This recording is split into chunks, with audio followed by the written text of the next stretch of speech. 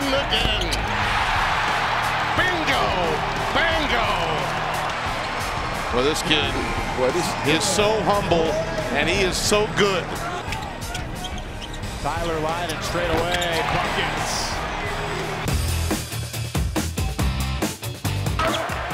Lydon. And on the offensive glass, it's Lydon. Driving, no foul, and Lydon with a follow dunk.